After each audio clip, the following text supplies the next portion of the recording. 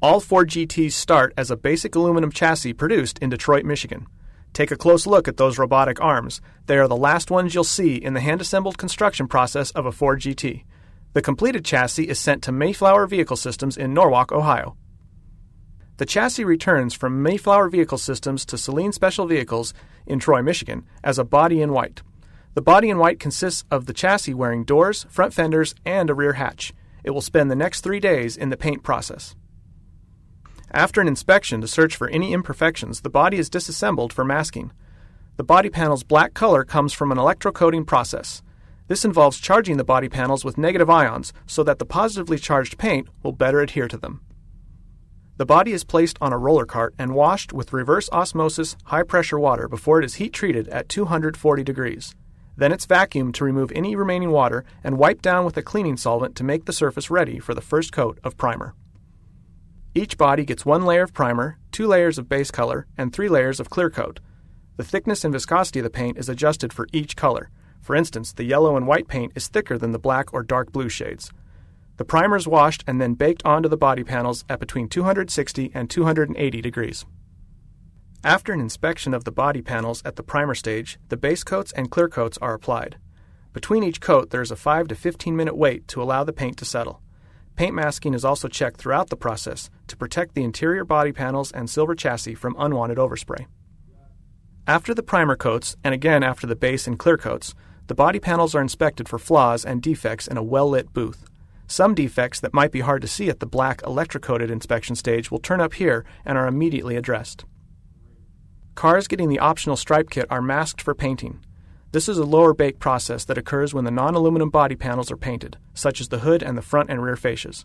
The low bake paint booths are used for all of these items, with the temperature set at 180 degrees. The polish area is the last stage in the paint process. All panels are hand polished, and any minor imperfections that don't require repainting are addressed here. Examples would include a small speck of dirt in the paint that can be rubbed out. Final paint inspection also occurs here. This is the first in a total of 22 assembly stations.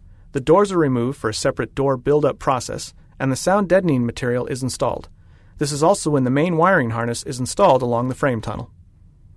Additional wiring harnesses are now installed, along with the accelerator pedal and initial brake and steering system components.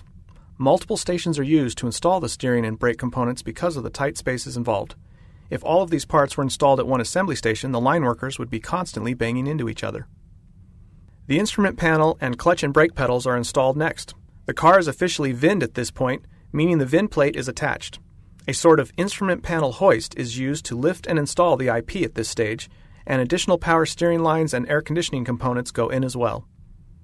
Cooling and climate control lines are installed next. The fuel tank, steering column, and seat belts are also installed. As with any assembly line procedure, it's crucial to have an adequate supply of the proper components ready and waiting at each stage of production. The front and rear suspensions are made up of sub-assembly components. These smaller components are assembled before they are bolted to the vehicle at this stage. Sub-assemblies are required for items that are too complex to build on the main assembly line.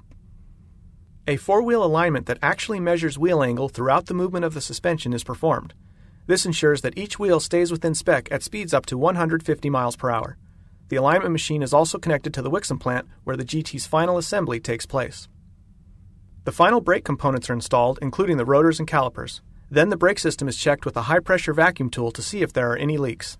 At this point, the car's chassis assembly is officially completed.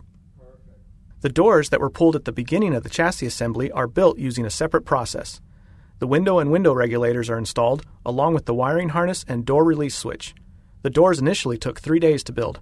Now it's down to one hour. From the speaker to the window switch to the electric door release, each is tested before the door ever goes on the car. The window regulators are also timed to see how long they take to raise and lower. If any component is not to spec, it is immediately replaced. Here is where the body line portion of the assembly process begins. The first step is installation of the windshield and midlight glass, which is the glass between the cabin and engine compartment. Latches for the engine cover are also installed, as is the pressurized overflow coolant bottle. The doors and fenders are officially attached to the body now, as with the doors, several components go through a sub-assembly process before being attached to the main body. Other sub-assembly items include the front and rear fascias, the engine cover, and the wheels and tires. The rocker panels and quarter panels go on next. The side splitters are installed, which act as air deflectors to provide the Ford GT with downforce at high speeds. The front and rear fascias are also installed, as are the hood and headlights. Here's where the final product starts to really take shape. The rear hatch and associated weather stripping, along with the secondary door seals and the quarter panels, are locked into position. Panel gaps are confirmed before the side scoops are installed using a combination of plastic and metal fasteners. The door panels, sound system amplifier, and the switches for the door locks and windows go in next.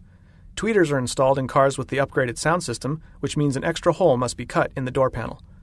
Wiper blades and arms, along with the wheels and tires, are also installed. The subassembly for the rear hatch includes the installation of a heated glass window and several pieces of cooling ductwork.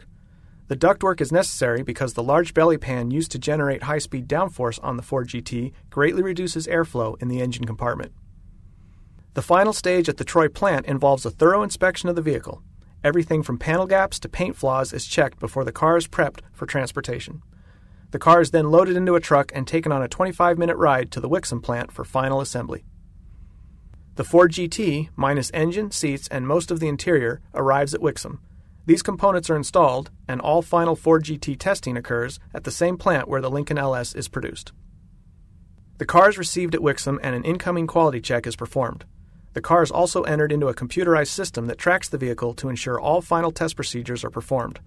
This system will not allow a car to ship until it's been cleared of all quality control issues and processes. The rear body panels and wheels are removed before it starts down the Wixom line to ease installation of the drivetrain. A cart designed specifically to hold the rear body panels and wheels ensures that nothing is scratched or damaged during this process. The engine is hand assembled at the Romeo engine plant, which is the same plant that will build the upcoming GT500 engine. The drivetrain must have radiator hoses, brackets, a starter, shifter cables, exhaust shields, and motor mounts installed before it goes into the Ford GT. Prep time per engine is about 20 minutes.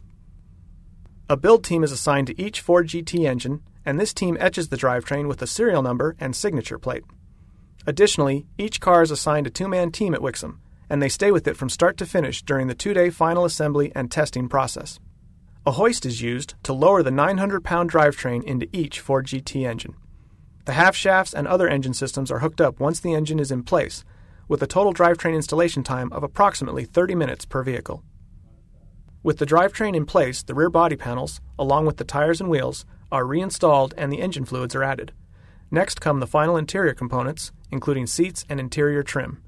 Headlight alignment is also confirmed, at which point the car is considered fully assembled. Now comes the testing regimen for each completed Ford GT.